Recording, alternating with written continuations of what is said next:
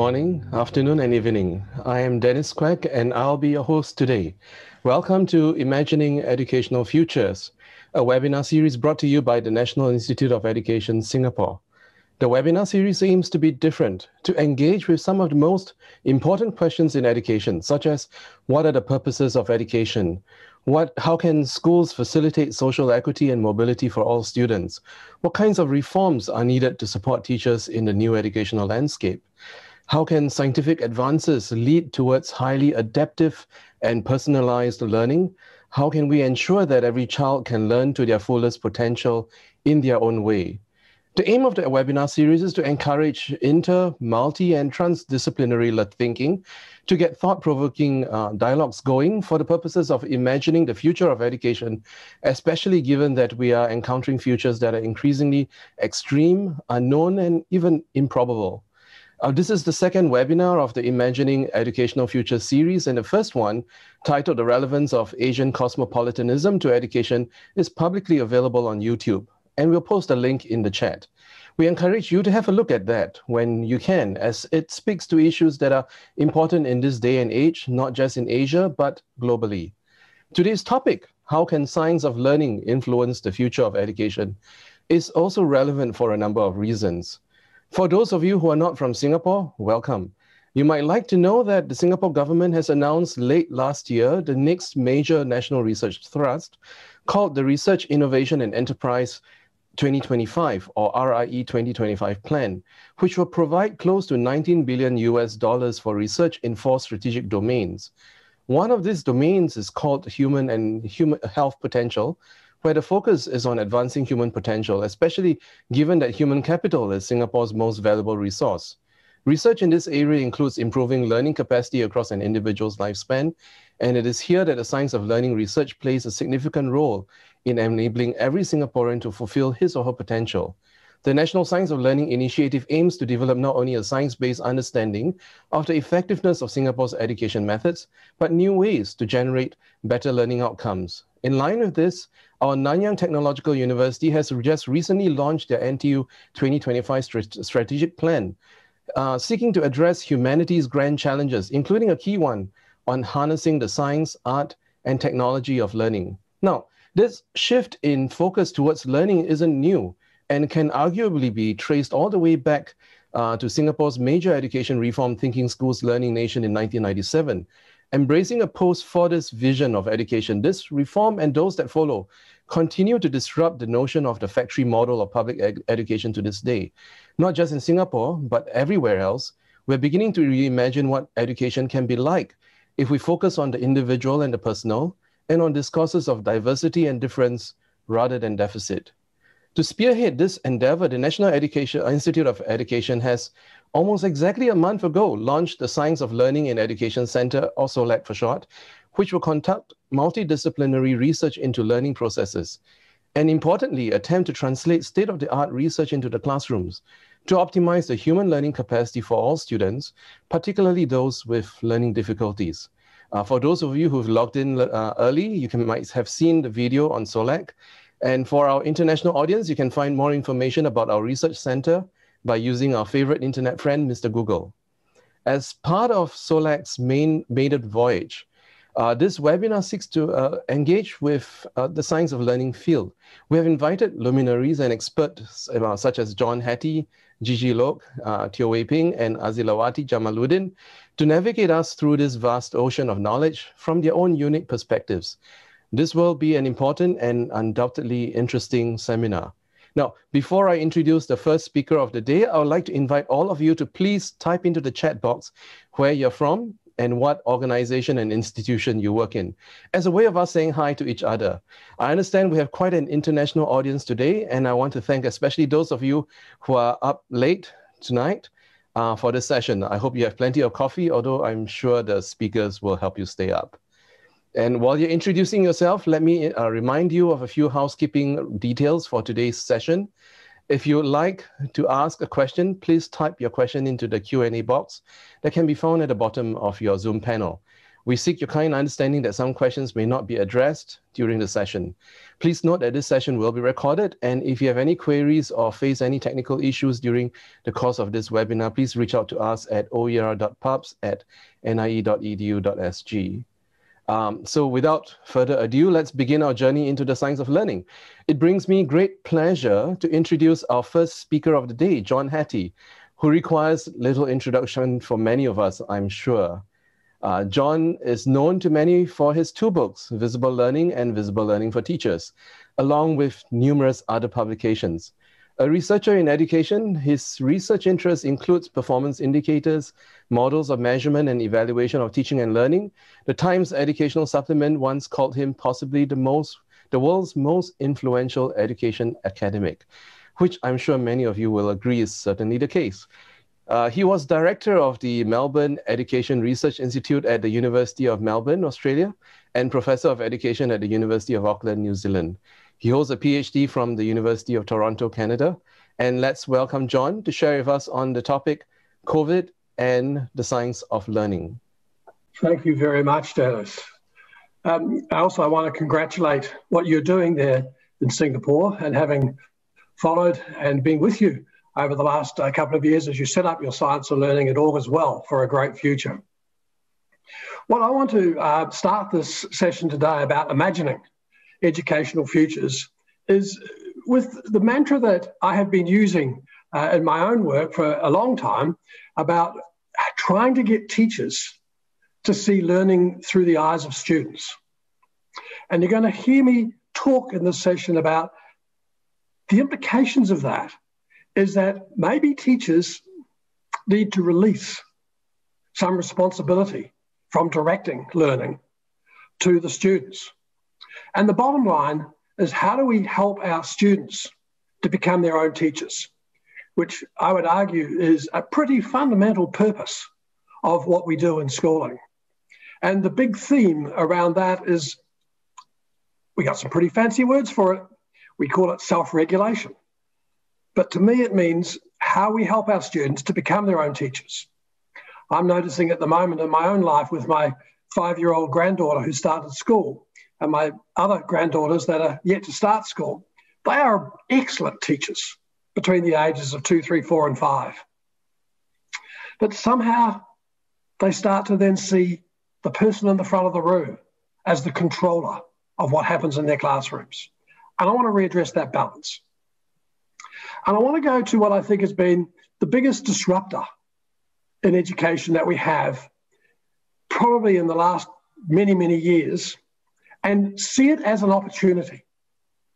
Notwithstanding, absolutely, there are some sadness, there's death, there's illness, there's economic hardships. But on the other hand, it's also quite an incredibly fascinating disruptor. And I think the biggest travesty would be if we don't use what's happened over the last year or so as an opportunity to reinvent, to reconsider, and to look at what we've been doing in education and ask is it the right way we should be moving forward? Let me start.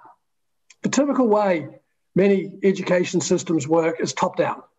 There is a state, a federal, a Department of Education that sets out edicts, sets out policies, and then they're filtered down through the principals and sometimes they hit the teachers, and sometimes they don't. But think what happened in COVID. I don't know of a single educational policy that has come into schools that has helped teachers readjust to teaching online, at distance, over Zoom, etc., other than whether schools should open or close. It has been a bottom up revolution. In fact, I'll go a step further and argue it has probably been the greatest educational led revolution that we've seen in the history of schooling as we know it. And I think we need to learn from that. Now, don't for a minute believe that every teacher across Singapore or wherever country you're in necessarily agrees with each other. But how do we harness that ability to change overnight, that ability now to see technology as just normal? the way in which social emotional learning is not seen anymore as a separate activity to what happens in the everyday lives of kids. I think we have a lot to learn from that. Also, over the last while, there has been some really interesting research that's starting to come out about the effects of COVID. Take, for instance, the New Zealand research based on about a million students. And what they looked at was what is the effects of last year, where New Zealand had many, many months of out of class teaching, compared to the last 10 years, using a database that has been systematically collected. And I'm very proud to say that I, I was the uh, developer of that asTTle database, which has now been in place almost 20 years. And you can see that the effect sizes from last year on reading are pretty smallly negative. Maths is actually similarly small and positive. The biggest negative effect from COVID was on writing. And I'm sure we can all think of explanations for that. But here's the message anyone who stands up and says that COVID led to massive learning loss has misunderstood the power of teachers to truly want to make a difference in a positive way to the lives of their kids. And I think the evidence is showing they did. They found ways to come up with different ways of teaching, from which we have a lot to learn, to make sure that the learning gains last year are not that dissimilar from any other year. I know it's a tough statement because everyone wants to look at the negative and say it was all a disaster. It was not. I go to the Netherlands, and interestingly, they looked also from their eight weeks of lockdown to compared to their previous three years, and they had a major headline 20% learning loss. Well, I challenge you to look at the bold lines there compared to the previous four years and see it. And when the arithmetic's done, it's a very tiny negative, which I'm sure many teachers can come up with a rebound to fix that. It hasn't been a dramatic loss. But as important, a study here in Australia. And I'm highlighting the positives here, acknowledging the negatives, but you look down that list in terms of teachers. We've never had more respect for teachers as we do at the moment, and we need to capitalize on that. Many parents have realized that teachers have incredible expertise. They don't just deal with their one or two precious offspring on a daily basis. They deal with 30 to 40 in a high school to 200 every day for 200 days a year. That requires incredible expertise. Also, from a student's point of view, many of them were, and a novel word in education, because we talk about effectiveness all the time, but many of the students were more efficient. And some of them are saying things like, I can do the work so much faster when I'm at home. What do I do at school all day? But the other side of it is from the parents. Here in Australia, we had close to four months of out of school teaching. And I remember on the Monday when the students all went back to school, you could put your head out the window and hear that collective sigh of relief from many of the parents. But they have learned also about the language of learning. They've realised that it's, even though they went to school themselves and should have remembered this, it's not about getting it right or wrong. It's not about handing it in neatly on time. It's about a struggle. And struggle should be the most powerful positive word that we use in this science of learning. How do we struggle with understanding? How do we struggle with so much new knowledge? How do we struggle to build coat hangers of understanding to hold on top of the massive incoming that can happen as we go about this learning equation? How can we reconcile it with our previous conceptions of learning? How can we use it to then go on and have deeper understanding and transfer? This is what happens in the daily lives of learners. And this is what many parents saw. And I think they had a much deeper and better understanding of what it means to be a student in school today than probably any of the previous ways that they've interacted with schools about their own students. But we also a massive move from a debate about teaching and curriculum which dominates so many of our schools at the moment, to during COVID teaching, we had a much more focus on student learning and making their students their own teachers. We went from a model of lots of talking to a model of lots of triage, kind of like nurses, teachers working out what was important at the moment, what the students actually knew and didn't understand, did not understand. Remember, kids don't come to school to learn that which they know, they come to learn that which they don't know. How do you privilege errors? How do you privilege mistakes? How do you privilege students who don't understand? And we saw that using a lot of the Zoom kind of teaching that we don't see in the regular classroom. And so when I look at what happened in COVID learning, there was that move to the triage. There was that move to seeing progress through to achievement as fundamentally much more important than achievement. The whole debate that we've had about high achievement is sometimes not helping a lot of schools and a lot of students. Those students who start above average, we have to add at least a year's growth for a year's input for those students, as we do for students that are below the average. And sometimes we're not as good with those students above the average as we think we are. All the focus gets put on the kids below the average, which is not a bad thing, don't get me wrong. But every student, no matter where they start, needs that sense of progress. And teachers, and sorry, and parents who consider the best schools in the area the ones that have the highest achievement can be very misleading because they may not necessarily be adding that at least year's growth to each of those students. It was seeing and moving from the purpose of a kid in classrooms is to be right, to get things correct, to seeing failure as the learner's best friend, to seeing that struggle that I was talking about as the essence of what learning is. It's moving away from labeling students, and oh, unfortunately, we're very, very good at labeling students, which often sets very low expectations by teachers, by parents, and for students. To moving it and saying, no, every student needs learning interventions. As we've done here in my own university here in Melbourne, we abolished the special education program about five years ago and yes, it upset a few people who argued that their particular special learning need was quite different from another one. And we brought in Lorraine Graham and said, We want you to set up a program about learning interventions for special needs kids. And one of the side effects of that is now virtually every student in our teacher education program wants to take that course because every student needs a learning intervention. And that focus on what makes a difference to the learning lives of every student and then I go back to where I started. Moving away from teachers being the director of learner and having this gradual release of responsibility. And I hope that becomes a usual phrase that we use in our schools from now on. How do teachers release that responsibility to allow the students to become their own teachers? This notion of self regulation. Surely, surely the ultimate success of any lesson is to ask students, can you now teach someone else? And one of the things that we did in the COVID experience is invented a new term, teach back.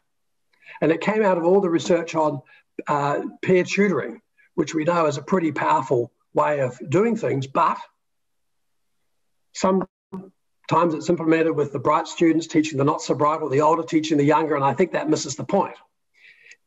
And we had the system in the school we were working with of Teach Back Tuesday. Each Tuesday, the students had to teach another student, a group of students, their parents, or the teacher what they've been learning over the last week. And you heard them thinking aloud. You heard them preparing quite differently for a presentation than when they're asked to get up and present about some report they've done, because they had to think and understand how other people went about the process of thinking. Building that social sensitivity which our employers so want in today's world. Can this employer work in teams? Can they translate? Can they communicate? I don't know how many times I've been into schools and seeing students sitting in groups working alone, seeing students being told they have to work in groups, but their assessment is individual about them. And this whole build up of collective self efficacy, which we know is very, very powerful for adults, but how we build it also amongst our students. So, my message today is we've got a lot to learn about the science of learning if you take it from this perspective. Look down these mind frames. Our argument is these are the kind of things that we want our students to do. We want them to know their current level of understanding. And you can read the rest of that list. As I commented earlier, if you go into class of five year olds, you see this. If you go into class of eight year olds, they think their job is to come to class, to sit up straight, and to watch the teacher work. No, it's these attributes that matter. And what are these attributes? That's what we mean by self regulation. Or, in the terms we've been using, assessment capable students. This is the notion of learning that I like to see the science of learning develop, and I like to see in every classroom. So that when students go from one year to the next year, when they go from our school to another school, when they go from a school to a tertiary or to a job, they have got the skills of knowing how to teach themselves. We need to move away from the current instructional model where teachers prepare an instruction phase, some activities for the students to do, a reporting back phase, and a wrap up phase, which is the traditional model, where teachers talk sometimes 70 to 80% of the time. They ask 152 to 200 questions a day, requiring less than three seconds feedback from the teacher, from the students. And this crazy debate that we have about different teaching methods is if some are right and some are wrong. The only time a teaching method is right is if it has a positive impact on a student. And many times we have to switch between explicit instruction and inquiry learning. And it's about the notion of when is the right time to do it. But if we're going to move to this model of self regulation, the students becoming their own teachers, we need a lot more cognitive analysis of the skills required to understand the content that is being taught. Not an easy thing to do, but I think it's the right thing that we should be focusing as a research community, helping our teachers understand the cognitive analysis of what's happening.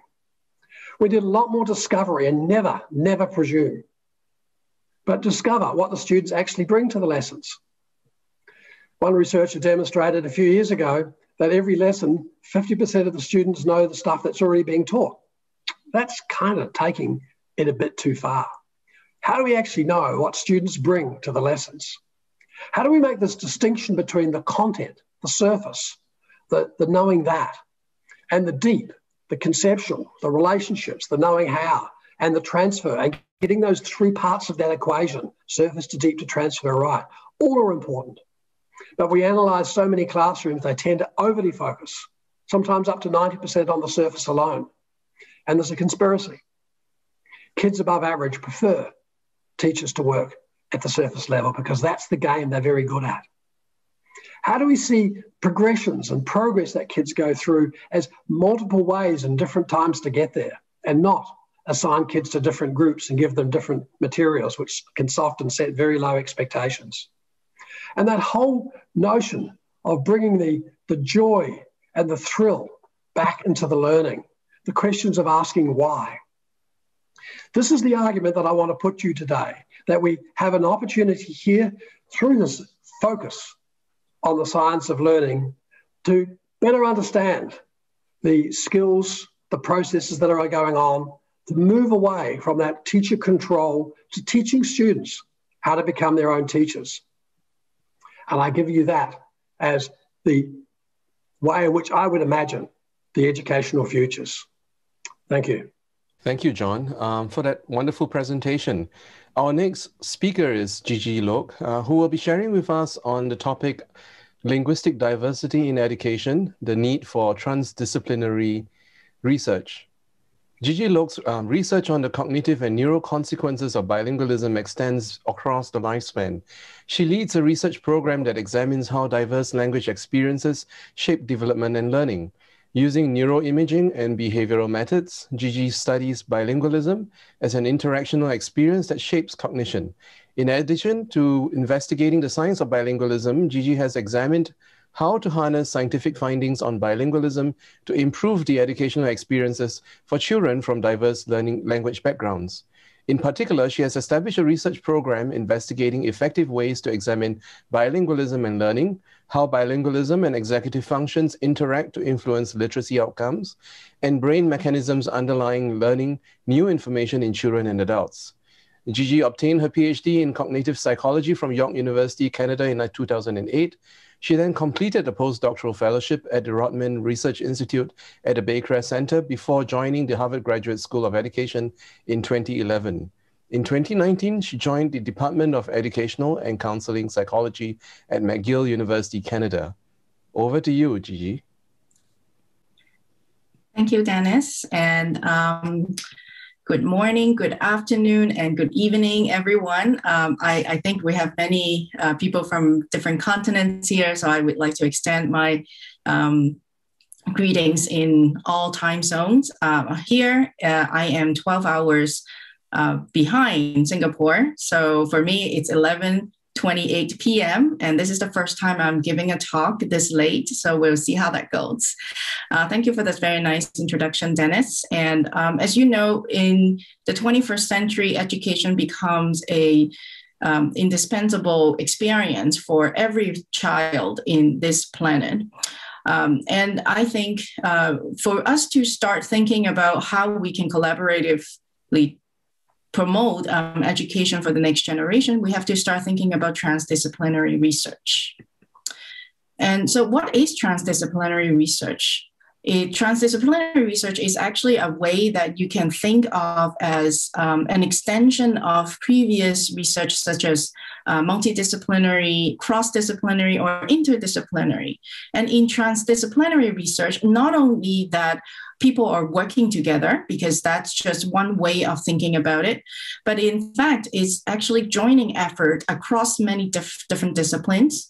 And importantly, we have to include the stakeholders of a particular field, such as um, education. So in this case, you can think of it as educators, parents, students. Um, and of course, it's not easy to work with other people. Uh, biologists would have a very hard time working with um, humanities researchers. But at the same time, uh, this kind of opportunity will push us to be open minded to other disciplines. And when knowledge are integrated across discipline, we create what we call hybridized knowledge. And we also share common semantics and pragmatics. So we learn each other's languages in terms of uh, the discipline and also facilitate the collaborations to achieve a common goal. So my training has been in psychology mostly, uh, but I have also been trained in doing neuroscience, and now I am doing education research. So I'm going to share just one slice of how we can think about transdisciplinary research um, in my own expertise, which is bilingualism. And um, in particular, I would like to share with you, uh, because of the 20 minute time limit, I'm just going to be able to share with you a slice of uh, uh, transdisciplinary research. And in this case, I would like to advocate for the thinking that cognitive neuroscience uh, research and education research has a lot to offer and join forces to um, enrich education practice and policy. Many people think of neuroscience research being in the lab and also not as applicable. But as you see in the opening video, there is a lot of potential that we can bring it to real life. And because um, if you think of neuroscience to education as a one way direction, then it is, of course, very limited in a way because cognitive neuroscience research often um, examine a an artificial in an artificial testing context, meaning that we do it in a lab, like the research that I'm about to show you using um, fMRI.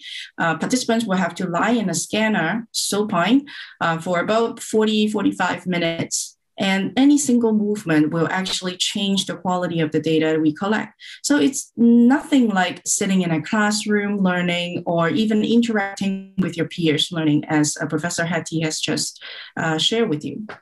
And in neuroscience research, we often also looked at very specific cognitive constructs or learning construct or social construct. And in this case, the specific construct also doesn't uh, provide a comprehensive full picture of what learning is really like. And to be fair, cognitive neuroscience research serves the goals of um, fulfilling scholarly inquiry instead of uh, changing practice or changing um, policy. And so I'm pro, um, proposing that there's a new way to think about uh, how we can bring this all together. And it is to uh, consider that we know substantial amount of information about neuroscience and learning, as you see some of the example in the opening video. But now what we need to do is to put this knowledge into context. And the context that we have to consider is education. In education research, um, what we would really like to do is to understand the challenges and the stakeholders who are experiencing the challenges. And most important of all, we are putting learners' welfare and uh, their well being in the forefront. So in this case, in transdisciplinary research, not only we build a partnership between neuroscience and education, but uh, the question, the fundamental scholarly inquiry will have to be inspired by educational challenges that um, children or uh, educators experience on a daily basis.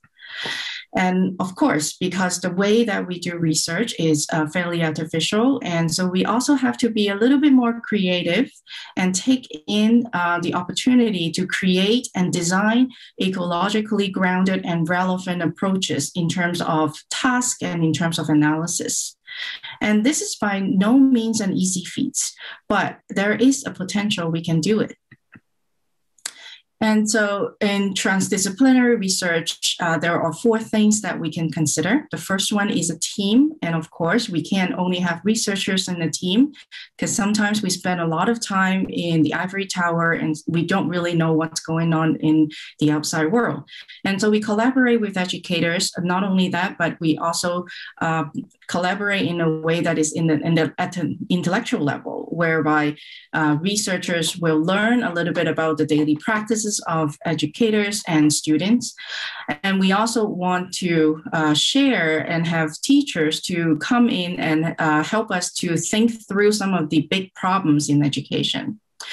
And next, um, I will share with you some of the context and how do you think about using context uh, or leveraging a context to design and um, uh, research uh, program. And then we have to ask the relevant research question. And then we design an experiment that is actually uh, grounded in practice.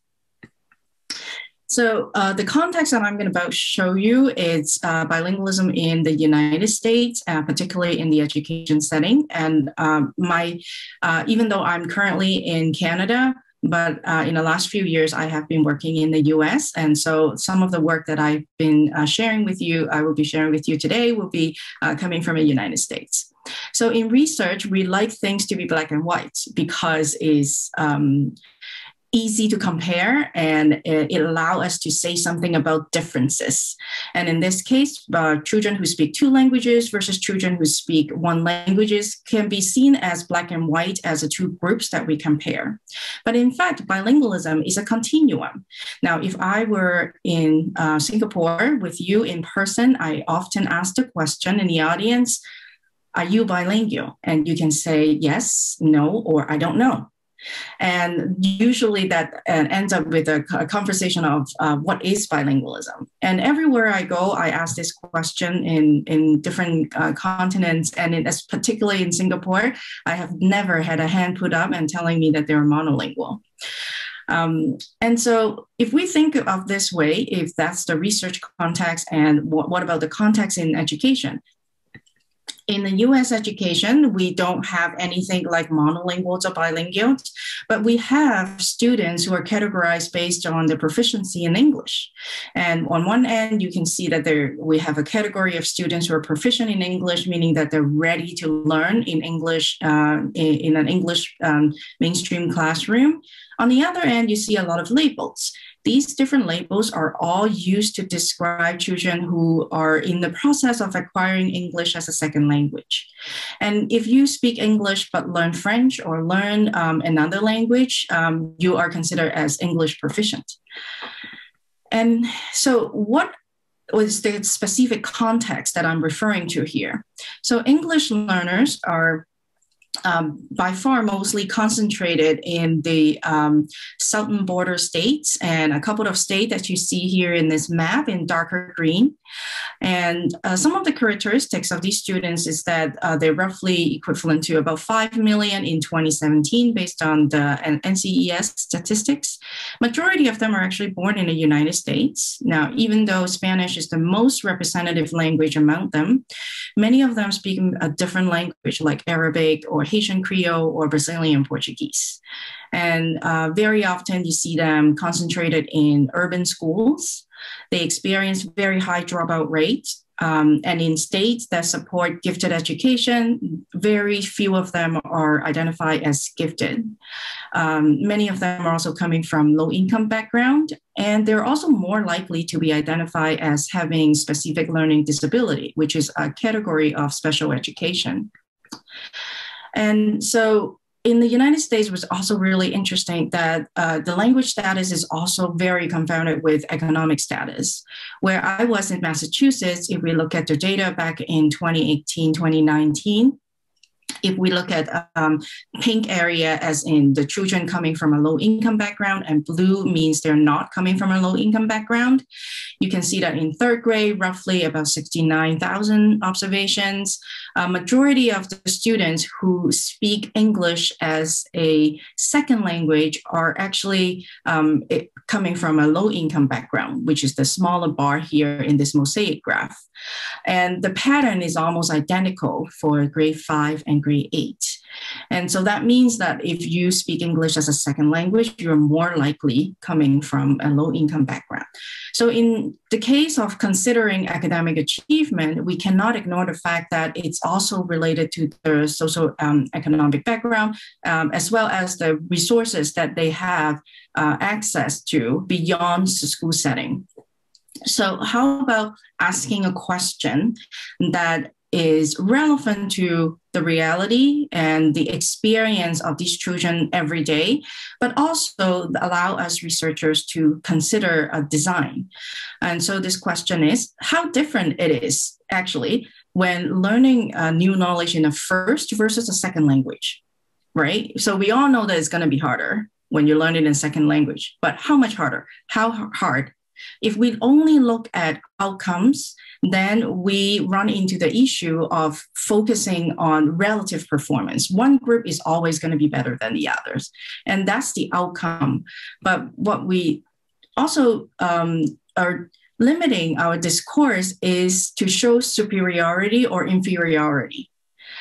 And that's meaningful to some extent, but I think using neuroscience methods or using other scientific methods would allow us to shift the deficit oriented description to focus on differences in order to think about what are the most sensitive ways to help these children.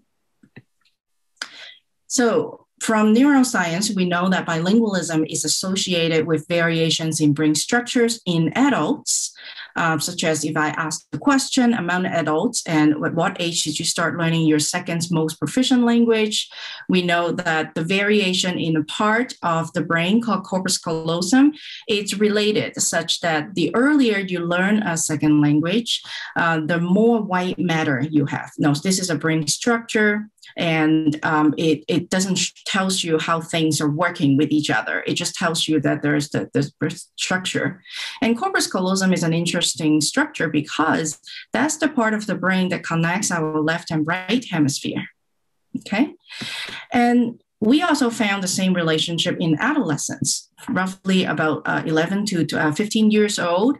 And the um, area of uh, correlation is slightly shifted to the posterior part of the brain. And in this uh, relationship, we control for biological sex, parental education, age, nonverbal IQ, um, etc. And so we know that the age at which you start learning another language changes brain structure. But what about brain functions? That's what allow us to say something about how they learn. And so we designed an experiment uh, by asking um, adolescents um, how, what do they know about uh, the Earth. And we chose a topic from Earth science in the Massachusetts curriculum. And of course, we want to make sure that they don't know what we're about to show them, because otherwise we won't be able to test uh, how they learn new knowledge. And then we put uh, um, an adolescent into the MR scanner. And I apologize for my very poor uh, PowerPoint skill. Um, no heads were hurt in this experiment. Everybody's head fits into this machine. Um, and in the scanner, we showed them a six and a half minute video about um, earth science and we have an, uh, a narrator uh, standing here uh, on one side of the screen and we have static images on the other side as visual uh, support and uh, the narrator here was actually a former teacher in a school in boston teaching uh, science to um, linguistic diverse students and then when they come out of the scanner, we capture their brain activity. We also ask them what they have learned in the video. And not only that, we also ask them specific questions so that we could grade grade their performance like a teacher would using a rubric that we co-design with teachers. So using this experiment, uh, this is actually a, a, part of the dissertation of my um, doctoral student, um, Sibylla Leon Guerrero, who just defended last Tuesday. Um, in language processing, we know that most of the processing um, in, it happens in the left hemisphere, and it happens in the front part of the left hemisphere. Um, but we also know that uh, when this area is uh, processing language, it also you may use other parts of the brain, especially when you process in second language. We know that it would potentially make it um, more challenging, and we should expect to see a more diffused or distributed uh, brain network. And so I'm going to show you uh, the video here on the top panel that uh, the rotating brain image here showing English speaking adolescents. And the image below here show the correlation of different brain areas uh, in Spanish English bilingual adolescents when they're watching that earth science video. And in this case, you can see that it's much larger. And what about the other side of the uh, of the brain. So there's another component of the brain that focus on language comprehension um, in the posterior part of the brain. And what about this brain area? Um, again, we see more um, correlation uh, of with activity in the brain area on the other side of the hemisphere in the bilingual children. What it means is that we know that it's um, much more effortful and it needs different area, brain areas to support learning in a second language. But of course, I don't expect to scan every single student in order to figure out what's best for them. And in a transdisciplinary collaboration, we know that um, these children will need help in, in um, vocabulary, in their second language, and also their syntactic structures. Not only that, but we also know that their first language knowledge supports learning in a second language. So knowing more Spanish is not going to uh, diminish your performance in English. And most importantly, we, the next question we ask is how to leverage language to support literacy in, in bilingual children. And the key question that we designed this experiment to ask is how do we differentiate developing uh, second uh, language literacy skills from reading disability. When a child struggles to read, it is very difficult to find out what they are uh, experiencing. Do they just need more time to learn a second language, or do they actually need special education or intervention, like Professor Hattie has uh, mentioned? So, where do we go next? Um, we don't stop here. That was only a very beginning journey of a much larger research program to figure out what are the most sensitive ways linguistically to support these learners. And I can't do it by myself. I have to work with other people, like educators, parents, and also other cognitive neuroscientists. And the importance here is to build bridges. Okay. And so, uh, just to recap, um, we need to think about teams uh, in order to do a successful transdisciplinary program. We also need to think about context, and the work that I've presented to you is very specific to the North American context. but we have to leverage what we know about science um, and science of learning, especially in cognitive neuroscience, to design a sensitive experiments. We need to ask questions in a way that is relevant to practice, but also um, allow researchers to design an experiment. And we also have to think about designing an experiment that is going to be meaningful and transferable. Um, I won't be able to show you my other line of work that looks at uh, bilingualism in, as an interaction experience with uh, family, school, and community. But I hope I have that chance next time. Um, and thank you very much. All the work is done by this amazing team of students of mine. Thank you. Thank you, Gigi. Um, and I'm glad we are building bridges between Singapore and Canada. I, I know it's really late over there, and I hope you can stay awake just, just a wee bit more. Um, our third speaker is uh, Teo Wei Peng from our very own National Institute of Education. Wei Peng is from the Physical Education and Sports Science Academic Group, and his research focuses on understanding the mechanisms that underpin movement and learning across the lifespan and in diseased populations. In particular, Wei Peng specializes in several neuroimaging and brain stimulation techniques, such as EEG, functional near-infrared spectroscopy, uh, transcranial magnetic stimulation, and transcranial direct current stimulation to understand neurophysiology and movement control. He is involved in several international collaborations aimed at understanding the role of exercise and dietary habits on cognitive function and brain health across the lifespan. Wei Peng will be sharing with us the topic is neuroimaging ready for the classroom. Wei Peng, over to you. Thank you very much, Dennis. Um, and thank you everyone for um, attending this talk. Um, it is a great pleasure for me to be presenting um, some of my work, well, uh, or at least an introduction of what uh, I plan to do here. Um, and of course, I'm very honored to be in the same room as uh, Professor John Hattie and Professor Gigi Luk as well, who are obviously uh, the big guns in this science of learning arena. Um, so as Dennis has mentioned earlier on, um, I'm not necessarily an educator myself. I was not um, trained as a teacher. Um, I was trained as a sports scientist, so that was my, my uh, background. Um, and I did my PhD uh, in neuroscience or motor neuroscience or movement neuroscience. And one of the things that I was really interested in uh, understanding is how our body controls movement right? Uh, uh, in particularly from a brain's perspective. And I think working uh, a lot with um, clinical populations, so people like stroke, Parkinson's disease, and even in dementia, we actually see a very close relationship between um, our executive function or our ability to think and our ability to move, right? So, um, how all these relate together has sort of sparked my interest in trying to understand, or at least better understand, how our brain is involved in, uh, in our daily lives, our daily actions, and how can we accurately measure these responses in the brain, right? Um, so my talk over here, or, or, at least my talk, is, is really uh, um, and very much coincidentally, a, a transition from what uh, Professor Luk has mentioned earlier on about transdisciplinary research, uh, where myself, um, I have to work very closely with educators, teachers on the ground as well to develop um, paradigms that would be more reflective of what's happening in the classrooms um, so that we can better understand um, learning dynamics in those classrooms. All right.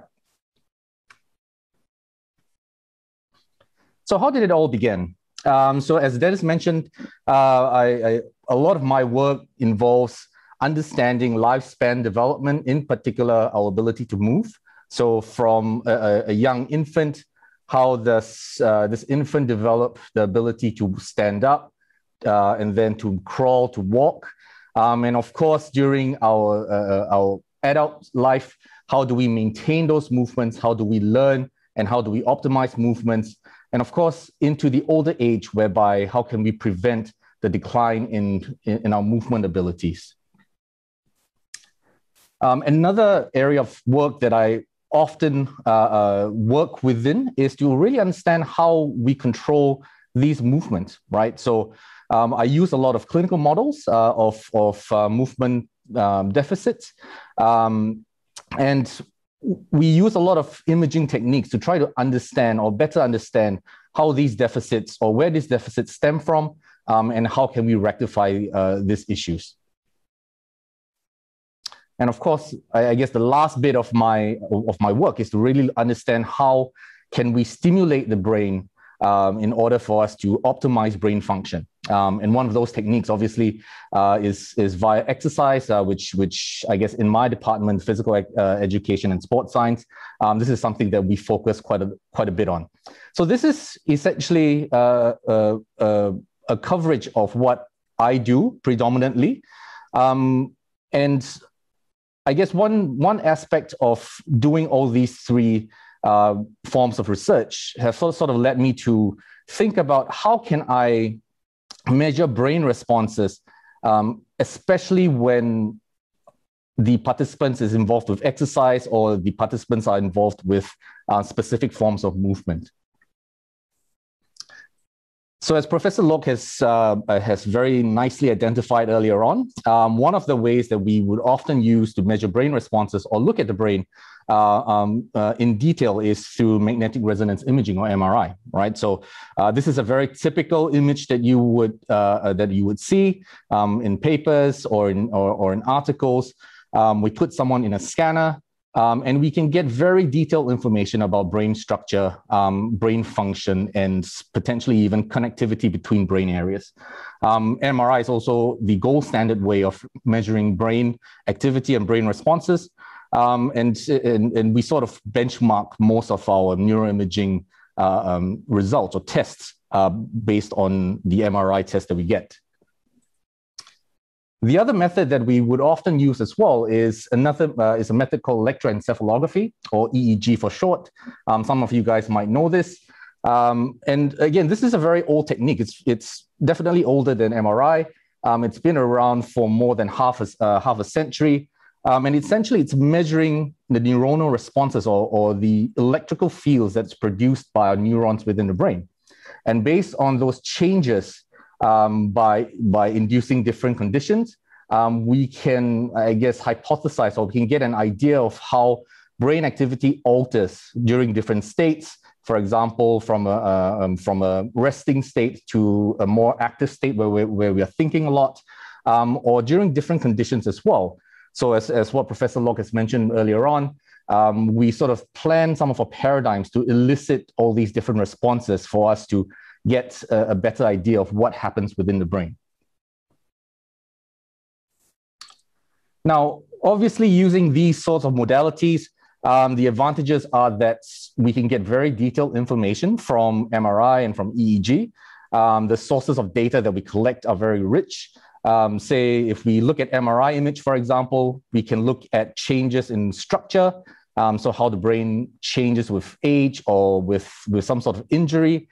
Um, uh, and, I, and I also mentioned earlier on that MRI is, is still currently our gold standard of measuring brain activity as well.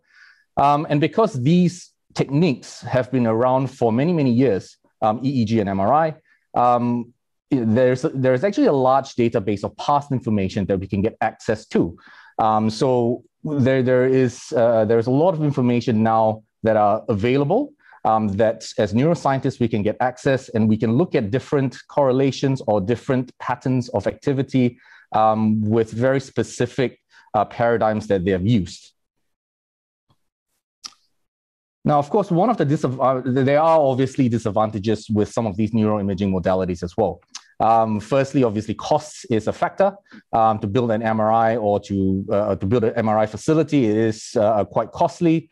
Um, results are mostly correlational and not necessarily causational. All right, so we can't really infer causation based on uh, uh, neuroimaging findings. Um, and I think as well, I think this question was again uh, uh highlighted by uh, Professor Luk, um, uh, whereby what is the ecological validity in real world setting, right? So if we put someone in a scanner and someone's lying down flat uh, or, or, supine uh, in a supine position. How does lying in a supine position inform us about activity or brain processes when we are running or when we are walking or potentially even when we are in a classroom, right? So can we create the same sensory uh, environment, the same physical act uh, within a scanner?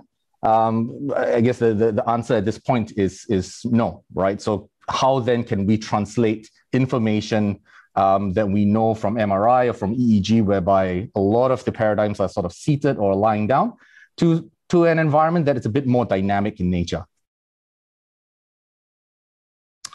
So this is where I guess my thought process often comes in. Um, we know that in a very static environment, if the person is lying down or if the participant is sit, seated on chair, we can measure brain responses quite well, right? But in our daily activity, so for example, in this uh, animation over here, so if we consider walking, right? So we walk everywhere, um, and we walk in a very high, uh, we walk in a dynamic environment as well. So as we walk, sometimes we encounter obstacles. So for example, steps over here. Um, how do we know what sort of brain processes are involved in these activities, such as walking? Um, how do we know what happens when we decide to change our course of action? So, for example, if we if we approach a flight of steps, how do we know uh, uh, what's going on in the brain to change that uh, that pattern of movement, right? Um, and even even if if if we were just walking uh, uh, on the road, um, we get sensory stimulation, um, you know, via our visual senses, via our auditory senses, um, sights and sounds um, that that occur as well. So we are constantly trying to pay attention to what's going on, right? So it is not just the act of walking alone, but we have all these other multiple sources of information, sensory information that our brain has to deal with in order for us to walk successfully from point A to point B. So I guess this sort of leads me to uh, uh, the, the crux of my presentation over here, is that apart from the traditional methods of measuring brain responses, um, we do have new generation technology or, or, or techniques uh, that are uh, that have been introduced. I would say in the last maybe ten years, fifteen years. Um, they've been used, I guess, maybe a little bit longer in certain fields, but at least in terms of education, I think we're starting to sort of see um, uh, uh research using some of these techniques a lot more uh, in in a in, in an environment that is I would say more ecologically valid or more representative of what's happening in schools or in a classroom. So just one, uh, um, I'm going to do a, a, bit of a shameless plug over here.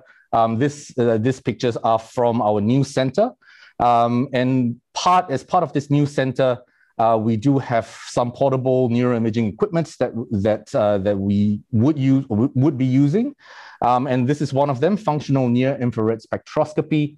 Um, and if you guys were early enough to catch the the starting video, um, this is one of the techniques that we uh, are, are, pushing um, as as uh, as a technique that we can employ within the classrooms itself. Now, this technique has been around, I would say, for the last 20 years. Um, it is it's it's not an MRI. Uh, uh, uh, it's not directly uh, uh, comparable to MRI, but some of the measures that we collect are highly reliable to some of the MRI measures that, that, that we collect as well. Um, the other form of neuroimaging, again, EEG over here, I think EEG has progressed quite a fair bit. Um, there are now portable systems, uh, which we actually use in sports science. Um, to measure brain responses to different activities. So as you can see in this slide over here, um, this rock climber is actually wearing an EEG cap, um, and he is actually performing uh, a, task that is that is uh, highly uh, valid in the context in which he is uh, in, in which he needs to do. Right. So the, these are just, I guess, uh, cross disciplinary skills um, that uh, that some of these techniques have been used in other fields uh, but now we're sort of slowly seeing some of these techniques being employed um, in an education setting. Um, and I guess apart from some of these new equipment and new techniques that we see, um, we also need to consider how some of these tests or some of these paradigms are being performed. Um, if you look at this video over here, this is actually a video of one of my past students when I was uh, at Deakin University in Melbourne. Um, and as you can see, this is a very traditional um, cognitive neuroscience paradigm that we get participants to do, whereby they look at a screen, um, and they push a button when they see a stimuli uh, uh, on the screen and they try to inhibit their responses um, if they see another stimuli, all right? So the thing I'm trying to highlight over here is that when we look at the traditional uh, cognitive neuroscience papers or research that we do, a lot of all these paradigms are created um, to specifically target a, a specific domain of cognition or, or executive functioning. Um, and they are sort of created as well to give the neuroimaging technique the best possible chance of detecting a change in the brain. Um, as, you, as, as you can imagine, brain changes occur very quickly um, and they're usually very minute in nature as well. So, in order for us to really detect what's going on in the brain, we have to give uh, uh, uh the brain the chance to actually showcase or to, to be able to activate some of these pathways, right? So if you look at this paradigm over here, which is uh, actually a go no go task to look at inhibition, um, this is what is, is often being used in MRI and even with some of these newer neuroimaging models as well, um, which may not necessarily translate to what we would do in the classroom, right? So what can neuroscience uh, or what can some of these neuroimaging techniques do for us? Um, I think based on the evidence that is sort of showing uh, uh, in more recent years, so this this paper was probably one of the first few papers that I've uh, that I've seen back in 2017.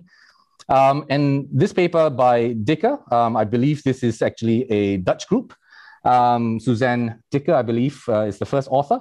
And she was probably the first one that demonstrated that we could essentially apply some of these neuroscientific techniques um, in classrooms, right? So this study um, uh, uh, or this technique of scanning multiple brains simultaneously, or what we call hyperscanning, um, looks at brain-to-brain synchrony. So if we have multiple neuroimaging sets that we can bring into the classrooms, and in some cases, some of these uh, imaging devices are actually not that expensive anymore. Um, we can scan multiple brains at the same time, and we can look at how these brains react to one another as well. Um, so this figure was actually, uh, I've, I've, taken this figure from the paper. Um, and essentially, they were looking at a classroom of 15 students, looking at a STEM subject, I believe it was biology, um, they even scanned the teacher's brains as well together with the student. Um, and here what we can see is that based on this group dynamics, we can actually get a sense of what the group or what sort of synchrony the group has together as a whole. Um, we can even look at things like how does how do the students react to the teacher? So synchrony of the, the student and the teacher itself. And of course, we can even look at um, synchrony between each subject, right? So how does uh, pupil A respond to pupil B, right? So we are starting to now see more and more of these hyperscanning techniques coming into play um, that we can apply in a, in a classroom setting. Now, this technique over here does not necessarily rely on the traditional neuroimaging paradigms where where we have to present uh, a stimuli in a, in a particular order. So this, we can, using this technique, we can actually have an actual live classroom going on, and we can collect data uh, simultaneously uh, uh, from the, the, individuals as well. And of course, depending on how many headsets we've got, um, we can do multiple, or we can image multiple brains at the same time. So what then, based on the evidence so far, and uh, uh, so since 2017, there are other groups as well that have uh, done this uh, synchrony method or hyperscanning method um, in classroom education, um, and even in social neuroscience as well, looking at be social behaviors between uh, parent and uh, parent and child, um, even between romantic partners as well, um, even between between genders, right? So um, there, there is also evidence, or there are also more recent papers looking at um, team sports, whereby we are looking at, let's say, paired, uh, paired sports, uh, uh, so we can image the brain of two uh, uh, opposing uh, players playing each other, or we can also image the brain between two players that are partners in that same sport, right? So how those two brains are actually in synchrony as they play that particular sport. So what does hyperscanning or, or brain synchrony actually represent? Um, as, as I mentioned, uh, this field is still quite young, uh, but based on whatever the available evidence that we've got, it seems to indicate that if we have higher synchrony between uh, two individuals, um, that may signify social connectedness. Um, so, i.e., uh, those two individuals may be uh, more connected to one another. And we sort of see that uh, when we look at uh, romantic partners, obviously. Um, we also uh, uh, believe that this higher form of brain synchrony um, may be representative of social behavioral synchrony as well. All right. So if you look at a classroom setting, um, learning is a very social affair right? And we always talk about so, so, the social emotional uh, uh, states when we when we talk about learning. Um, we could potentially use a technique like this to measure the the intersynchrony between uh, uh, within a group setting to look at how interrelated socially uh, and from a neural perspective uh, this group behaves within that particular classroom. Um, thirdly, social engagement, of course. So the more socially engaged you are with someone else, um, so and that person is socially engaged to you, um, we do see an increase in brain synchrony. Um, and I think one one area or one aspect that uh, uh that could potentially relate to the classroom is um, this uh, uh, concept of cooperation, problem solving, and creativity as well. So again, in a group dynamic setting, uh, uh if the students are cooperating with one another and they're solving problems um, and collaborating with one another. Um, studies have sort of shown, or at least uh, uh in, in pilot studies that, uh, that have shown, um, that this interbrain synchrony is, is actually a lot higher compared to when you're trying to problem solve uh, by yourself, or even if you're in a group uh, and, and you are just sort of working as an individual, um, the synchrony between that group is actually quite low. Okay, so just to put, uh, just to maybe put things into a bit of a perspective, um, this was actually a paper that I read um, a couple of years ago, uh, uh, just when it first came out. Um, from class, uh, from laboratory to the classroom, right? The potential of using um, uh, uh, of using portable neuroimaging devices in educational neuroscience. Um, this is actually a Brazilian group, so I I will confess that this is not a study that's being done by myself.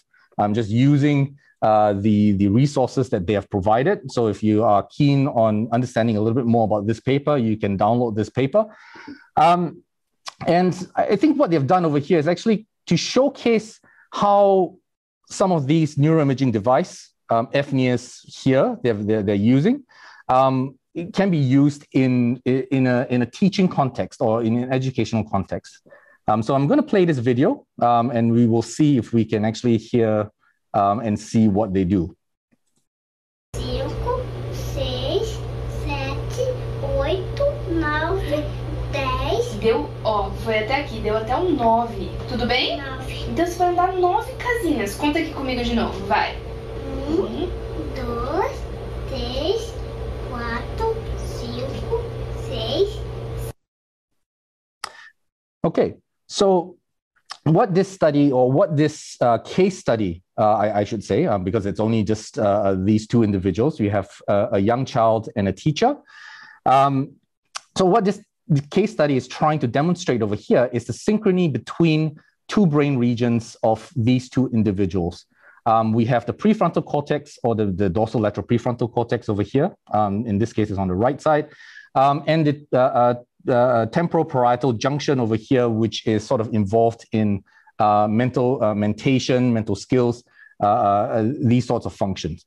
And so, what they have sort of suggested is that when two individuals, a student and a teacher, are socially connected um, and they're socially engaged with the particular task, that the interrelatedness or the connectivity between these two individuals of these two brain regions are, are a lot higher in, in, in this sense, right? So uh, this is just one aspect that we can potentially use uh, uh, cognitive neuroscience or neuroimaging techniques quite well and, and quite easily in a very ecological uh, type of environment.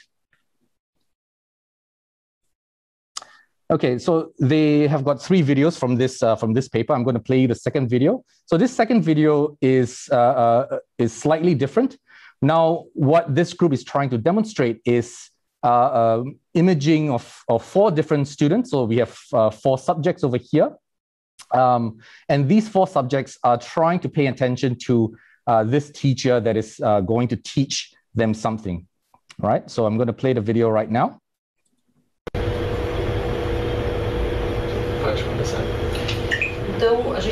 A aula. É, eu coloquei essas abelhas aqui não só porque eu acho elas extremamente interessantes, né, como biólogo, o cérebro delas encantadores. Ao final da aula. Right. So again, uh, uh, what we are seeing over here is that there is the potential for such techniques, even in a group environment, and looking at students, uh, so uh, so-called attentiveness or attention to a particular teacher in the front. Um, of course, if we had more, uh, if, if this group had more headsets, um, the, the teacher could be wearing one as well. Um, and we can look at the synchrony between the teacher and students and students amongst each other paying attention. Um, and for, uh, for this particular video, I think uh, uh, they were looking at the prefrontal area, which is just the area uh, in the front over here, that's involved with um, uh, uh, of which is involved in executive functioning, working memory, attention, uh, uh, those sorts of function. All right. And the last video over here from this particular paper um, looks at the combination of various different techniques, right? So um, we have got two different techniques that are uh, that are available on this video. Uh, one of them is again the brain uh, scanning system, and the other system is the eye tracking system, whereby we track the, the pupil or the movement of the pupil uh, um, uh, from an individual. So I'm going to play the video now. Nosso sistema solar. Aí um pouquinho mais pertinho dele vem um planeta chamado Mercúrio. Tudo bem? Um planeta pequenininho. Se ele está bem perto do Sol, você acha que ele é quente ou frio? Quente. É bem, bem, bem, bem, bem quente. Muito bem. Depois dele vem um outro, que se chama Vênus, tá certo? Tá só um pouquinho mais afastado. E também você acha que é quente ou frio? Um pouco. So as you can see from this video, um, we have got multiple data sources that we can obviously tap on. We have got um, equipment that, or we can uh, that we can measure the eye gaze, uh, which looks at where you're looking at, and which sort of represents uh, attention of a particular area or a particular uh, uh, uh, um, focus in in that space.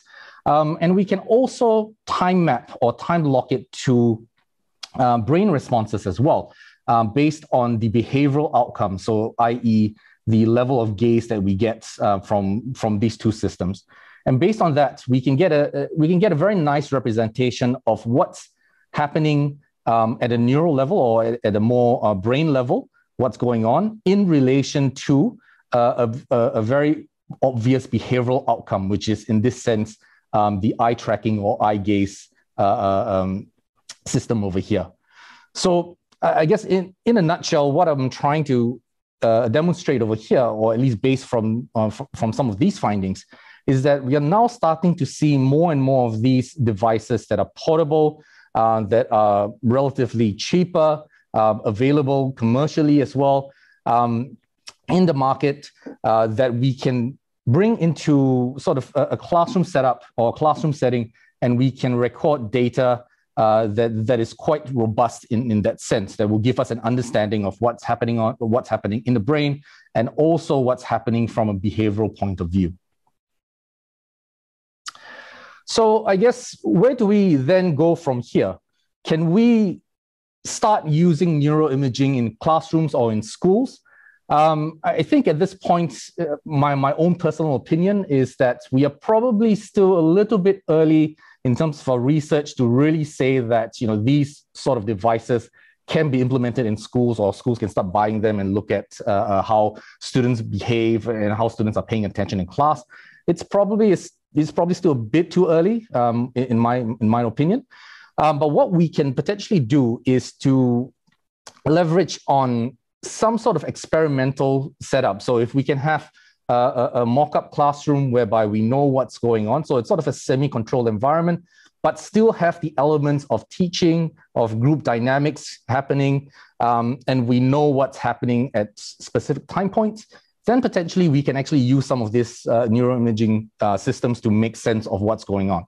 Of course, uh, uh at NIE, we tend to always work very closely with our MOE partners to, to really understand what do they want out of this science of learning or what do they want out of this sort of neuroimaging techniques and we can sort of cater or, or we can design a specific research paradigm or specific research question um, that would maximize the use of neuroimaging but also some of the behavioral techniques um, from the learning sciences um, so which sort of brings me to my next point, like how can we then maximize or optimize the use of neuroimaging in education, right? So I think large, uh, I think this is, uh, uh, uh, uh this should be for all research is that it needs to be hypothesis driven um, education research question. So education or educators need to drive the, the, the research question, right? So us as neuroscientists or myself as a, as a neuroscientist, I would like to know what are some of the issues that you guys face?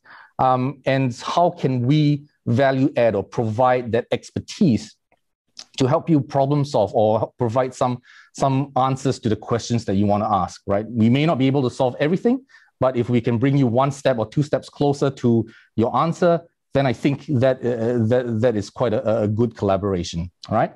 Um, the other thing as well is that uh, potentially if we can leverage on on on the you know the uh, semi-controlled classrooms environment which we have here at the science of learning and education center we can we can use or we can really utilize some of these techniques um, through observation through video analysis um, and to really understand what sort of brain responses and what sort of behavioral responses uh, uh, are happening during a live teaching class right? So again this really uh, reinforces this collaboration between neuroscientists and educational researchers or even practitioners that are on the ground that may potentially not have access to some of these tools. Um, we, we can definitely support, uh, we are more than happy to support these forms of collaborations. Um, and lastly, of course, uh, uh with new, newer met methods of data analytics, um, we are obviously hoping to combine some of these methods together with learning scientists, together with educators and neuroscience, um, to really create this transdisciplinary or multidisciplinary environment um, for us to really answer some of the big blue sky questions in education. So I think uh, I'm done with um, uh, this. Ends my talk. Um, be happy to answer any questions from you guys. Thank you very much. Thank you, Wei Peng, for the fantastic presentation. Uh, we now have the panel discussion. There are lots of questions coming in, and we're running a little longer than expected. So bear with us as we introduce our moderator who will bring us through the questions and discussion. Azilawati Jamaludin is Assistant Dean, Science of Learning at the National Institute of Education. Her research interests are in uh, learning theories of embodiment, perception, and cognition, as well as social, cultural, biological, and neurocorrelates of learning. She leads the play game based learning research strand and science of learning initiatives at the Office of Education Research. She is principal investigator of multiple national funded research projects and has published in several international journals in the areas of innovation as well as innovation change, scaling, and translation. Azi, over to you. Thank you, Dennis, for having me moderate this panel discussion. And of course, to our three speakers, earlier speakers, for their sharings. Now, before we get into an interactive panel dialogue, I thought I'd just preamble our panel discussion with quick rise above or synthesis from the three presentations earlier, which I feel point us towards very important areas for the science of learning. So, as you know, John talks about where we are headed with regards to our students' self regulation skills and being capable to teach themselves, developing mind frames that allow them to drive their learning progressions. Gigi articulated an example of interdisciplinary research that puts knowledge from neuroscience into a context, and this in this context is in education, and how we move from understanding individual differences in linguistic background that's informed by neuroscientific and behavioral in- investigations to nuancing more sensitive pedagogical support for the linguistic diverse group of learners that she's working with. And of course, uh, Wei Peng ended off um, the series of presentations presentation by highlighting issues of ecological validity. Um, he highlighted the affordances of science of learning modalities, of which um, neuroimaging is you know, is a central part of the kinds of measures that we collect in science of learning you know, he shared with us um, some of the affordances of hyperscanning, integrating some of the social contexts of neuroimaging data. And of course, um, ending off with um, a rather provocative question on whether we are ready for the classroom. And I think these are really important areas related to changing contexts, particularly in us imagining educational futures, where the science of learning findings are not just you know able to inform us about differences um, individual or group differences that are nuanced through biological measures but also how we bridge some of these science of learning understandings into education. And i think all three speakers alluded to this bridge from areas of neuroscience areas of psychology um, into education. So i'm just going to kick off this panel discussion. You know in extending these ideas about the interdisciplinary the multidisciplinary and the transdisciplinary bridges that the three speakers have alluded to. And um, I'm going to be um, posing this first question to our first speaker, John. And I think, John, you might be familiar with the translational framework. I think it was also a piece that was in your edited book with um, Jared Horvath as well as Jason Lodge from the laboratory to the classroom, where there was this articulation of a translational framework for science of learning, where we move across different kinds of bridges. So there's this conceptual bridge that will give us, you know, um, understanding at the theoretical level for how we can explain um, what are some of the learning mechanisms that our that are being experienced by our learners.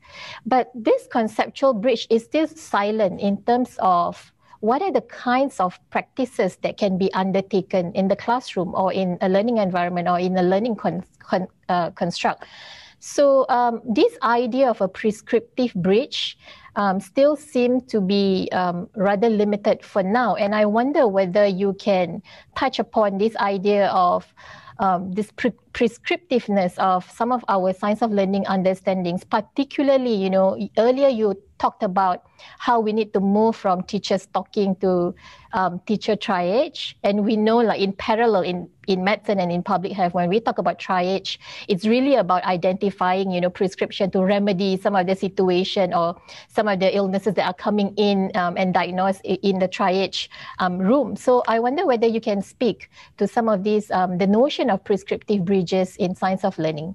Over to you, John. Well, thanks, Azi. I think it's a bridge too far at the moment, as many others have argued.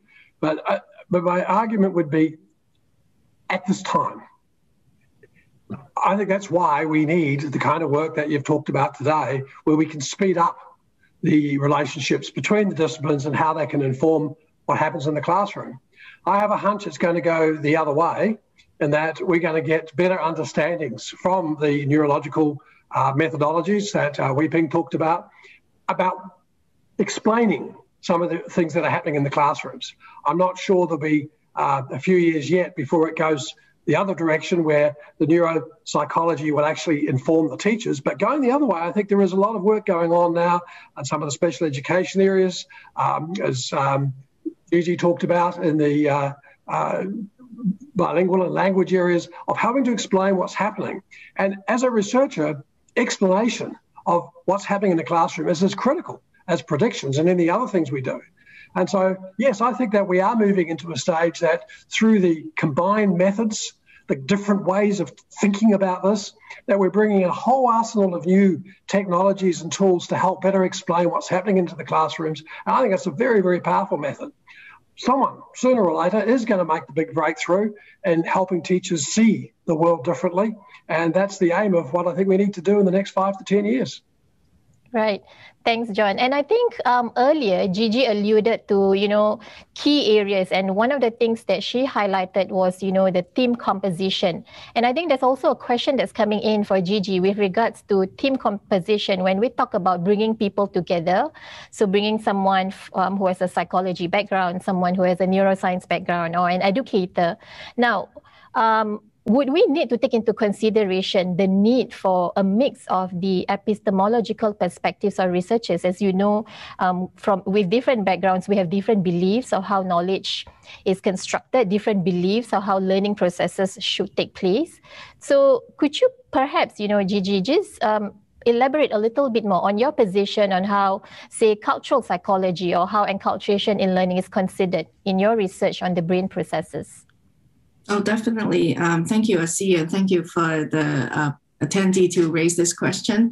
Um, I think it's very important for people who work together to have a deeper knowledge of other people's perspective, uh, such that like you not only have to uh, bring in your own expertise, but you're also learning from others.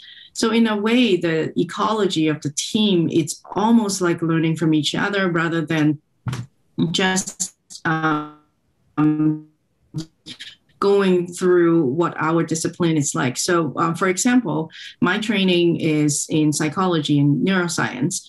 Uh, but when I started uh, doing work in education, I, I would uh, sit in classroom to do classroom observations. I would learn about what teachers are going through every day, and then I talk to families and see what kind of questions do they have in mind? And of course as a psychologist i observe children's learning in, in a naturalistic setting. And these experiences even though i can't write it in papers i can't put it in my presentation but it frames me and it also situates me in a way to ask questions that are more relevant. And of course we don't stop talking to each other. It's all the team formation it's for everybody to bring in their expertise in um, in a manner that other people can learn. So I have to explain neuroscience or the design or limitations of research to educators. And in terms of uh, culture, that's actually a really big part of the uh, the framework that I have been sharing.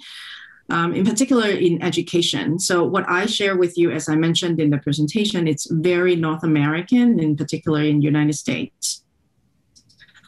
Now, because in the United States, most classrooms are operating in English. Uh, there are some numbers of classroom which has uh, dual language learning, but in Singapore, for example, dual language education is almost everywhere. Uh, last time I visited Singapore, um, I visited a childcare center where one teacher used um, Malay, I think, and then the other teacher used English, and it's very prevalent. And I remember I just go to a market and because I look like a person from Singapore, um, people would talk to me in all different languages and dialects in one sentence, and I can only understand the English words.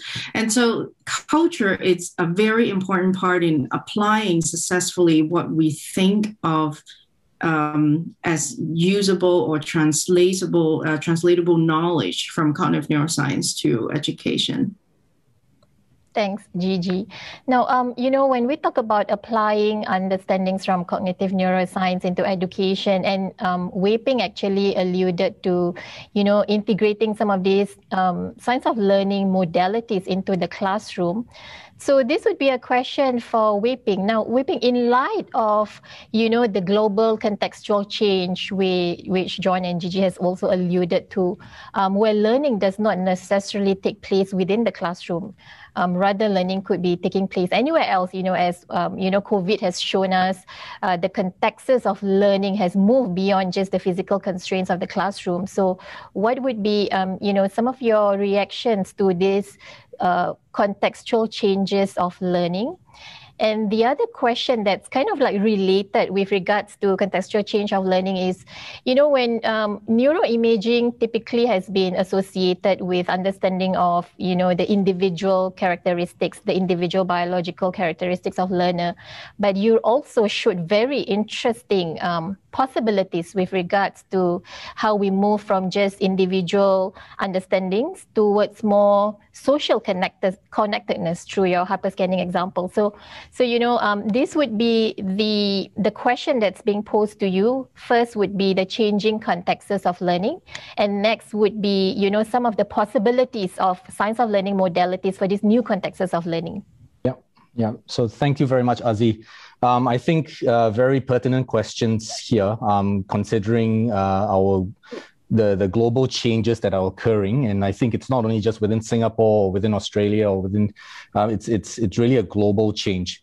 In today's context, we get information freely and easily, right? So if you go onto YouTube or if you go anywhere, you go onto a website, you can get very good quality information already, right? So I, I think that in terms of the the neuroscience or at least the cognitive neuroscience or this, the the the the, uh, learning sciences research um, this is a change that is uh, that is going to happen in any case whether or not covid happened i think covid was was really a catalyst that sort of spurred uh, uh, uh, uh institutions like schools, the, the the IHLs to to rethink and readapt the way we the, the, the way we learn.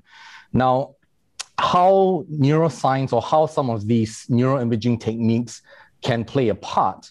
Um, I, I, think in, in this sense, uh, uh, again, like I mentioned earlier on in my talk, uh, uh, to bring some of these neuroscience techniques into the real world at this point, I think we are probably still too early for that.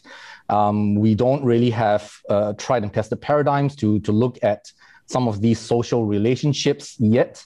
Um, and I was sort of reading through some of these questions as well uh, and rightly pointed out by by some of the, the the attendees that you know how do we how do we know whether someone's socially connected or interconnected? And this is this is I guess why we sort of need to work together with uh, with with this uh, transdisciplinary people or transdisciplinary teams to really identify um, what is what is what's the definition of being so- socially connected right? Um, i myself uh, I, I again being socially connected is not necessarily my expertise of work, but I would sort of imagine that if this is a, a, a question that we could co- be collaborating with other partners, with other uh, experts or other practitioners, then I think we can e- we can easily overcome these issues. Um, I think one aspect of looking at this uh, uh, uh shift in in in this uh, in the way we we learn things whether we now become more so- socially uh, uh, uh, isolated because of lockdowns, because of restriction. I think this is a, this is a good testing ground to see whether or not some of our hypotheses or some of these learning theories still hold true, right? And we can use neuroscience and we can use cognitive science to help answer those answer those questions. Thanks, Wei Peng. Um, I think the the current trust or the you know um, the resonant theme across the the sharings that has been um, shared by the trees because it's really about um, the change you know when we have go- global contextual change uh, and and you know when science of learning findings are coming in what are some of the things that it's going to be changing? And i think um, john earlier earlier earlier alluded to like um, you know giving students a lot more agency than they traditionally have been um, given. And how can we actually address some of these changes through working with our educators which which both Gigi and Wei Peng has alluded to? So the question now that has been posed is that the change and suggestion that the science of learning bring about um, has actually um, arose this fear of displacement in the current set of teachers so, how can we best manage this change process? And I think, um, you know, this question could potentially be answered by John, given that um, you have highlighted how um, teachers should be addressing some of these contextual changes for learning and how we're going to be seeing students with a lot more different um, skills and dispositions that are preparing them for a, a future of imagination. So, you know, how can we actually address some of this fear of displacement? Well, I think that COVID gave us the opportunity to uh, forced us to to change, and I think many teachers, if, if, if anybody says teachers can't change, they just do not, do not understand what happened last year. And so I think that, um, yes, there is a fear of displacement because there are hierarchies in schools. There's hierarchy of subjects, there's hierarchy of students, there's hierarchy of teachers' roles. Um, but COVID disrupted all that. And so, this move that we are, all three of us have been talking about today, is this move from the focus on teaching to this focus on learning. And then it begs the questions learning about, um, who's making the benefits from the learning, how much is the learning. But there's also that important imperative to worry about the right time. Um, there is a right time to focus on the content and the facts. There's a right time to focus on the relationships and the problem solving. And that's why I want to put a lot more emphasis on the task analysis in terms of the skills and the thinking that's needed. Uh, when you go into many classrooms, most times you don't hear students thinking aloud. And there's a right time to do that too, and there's a wrong time to do that. But I think that um, teachers have learned last year that many of them can switch to a more triage approach. They can switch to having the students taking on more responsibility, to becoming their own teachers.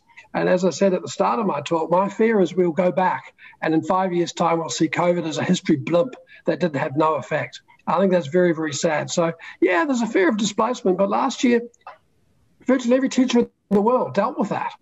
I just don't want us to go back to the old normal. Thanks, John.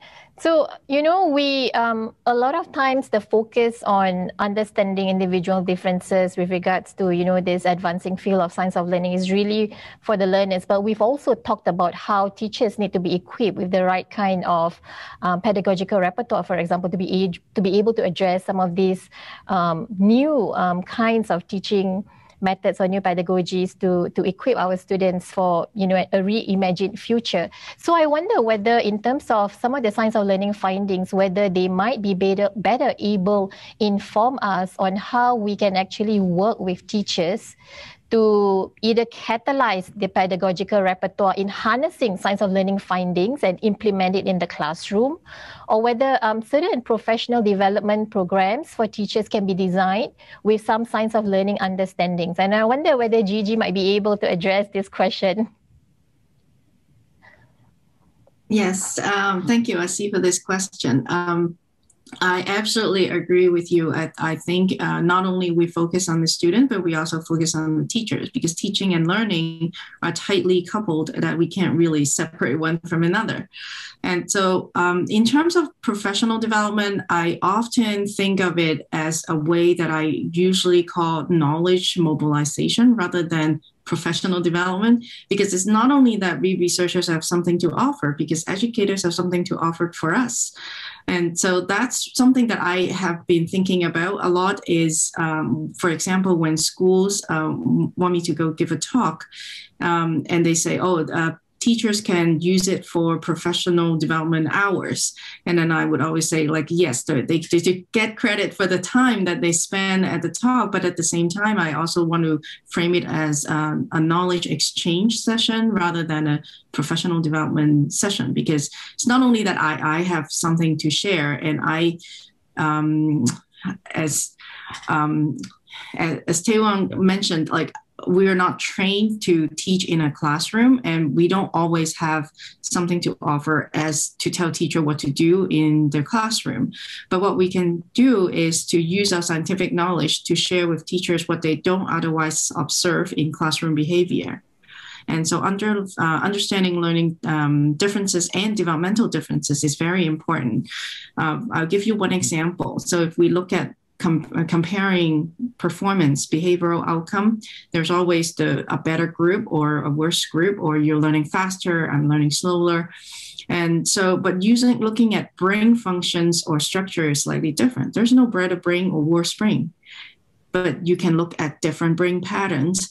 And of course, that's more at an individual level, but at a group level, like the research I showed you, we can then make a statement about uh, the underlying uh, cognitive processes that is supported by the brain regions that we observed in the different groups of children.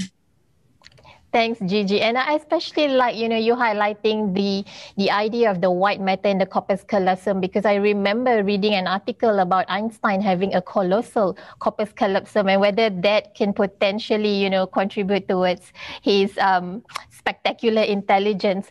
Now, I think um, with regards to Gigi's clear articulation on, you know, the the partnership between neuroscientists or psychologists with educators and how um, some of the problems that drive science of learning research is really emerging from classroom practices, the, the problems that educators are observing in their classroom, the, edu- the problems that educators are, you know, um, have identified within their professional practice. And I wonder whether, Wei Peng, in your interaction um, with teachers and educators, whether there are there have been some salient problems that have been identified and which you think will be able to drive or advance the you know science of learning field forward.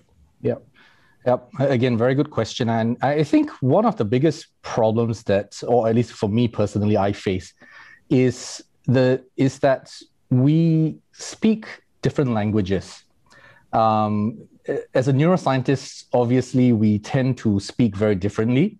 Um, educators speak very differently as well. And I think it is trying to, or at least if we can understand understand each other um, in a way that uh, uh, we can all get down and uh, try to have a, a, conversation with one another without having to go, oh, what is this and what is that? What does the prefrontal cortex do? What does the TPJ do?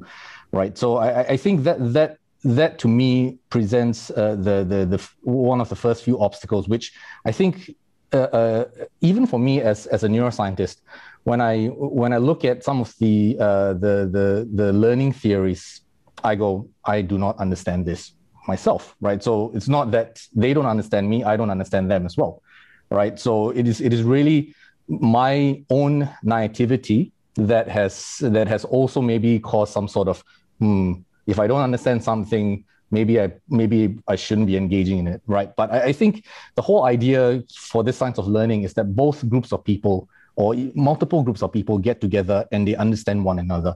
I think that that that to me, speaking a common language amongst teachers and, and students, or teachers and, and, and researchers, um, will help to get rid of some of the obstacles that that, that we do face. So I think that that probably to me is is the the the biggest uh, um, take home that, that I've got. Thanks, Wei Peng. Um, I, and I think uh, one area that we probably, um, it's been alluded to by the various speakers, but I think we probably didn't delve deep enough and it might potentially be, you know, the next um, Imagining Educational Future seminar for Dennis, but really about the role of machines in, you know, moving in parallel with us into advancing the science of learning field because um, as uh, John alluded to earlier, we want to be thinking about interventions for all. Uh, Gigi talked about how we want to be nuancing the, the the, the kinds of interventions that we are going to be implementing for say linguistic diverse learners.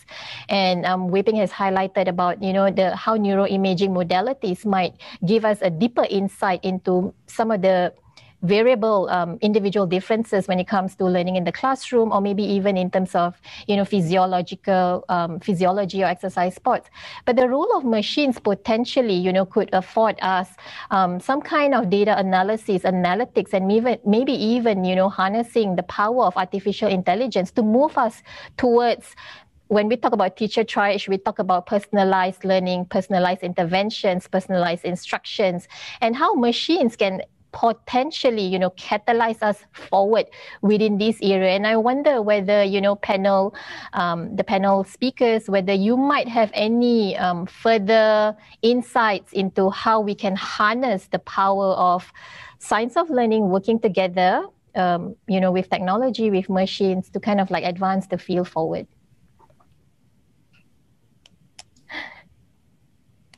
Anyone I, I, can jump in here.